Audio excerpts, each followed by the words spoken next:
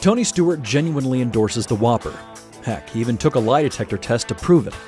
So BK thought it would return the favor by giving fans the chance to endorse Tony and become a real part of NASCAR history in the process. With BK's sign and race promotion, fans got the unique opportunity to get their real signature, their official fan endorsement, under the actual hood of Tony Stewart's car. Signatures entered on the Sign and Race website went straight from fans' computer screens to a custom BK race decal at Stewart Haas headquarters.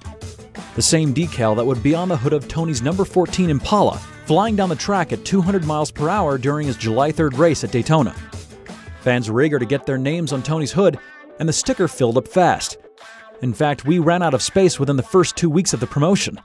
On race day, over 48,000 fan signatures hit the track with Tony. And when it came time to auction off the hood, it fetched $3,700 on eBay. When it was all said and done, BK had gotten lots of positive exposure, and race fans had gotten the chance to be a part of something truly special. After all, how many people can say they've gone 200 laps with Tony Stewart during a real NASCAR race? As it turns out, quite a few. Thanks for watching.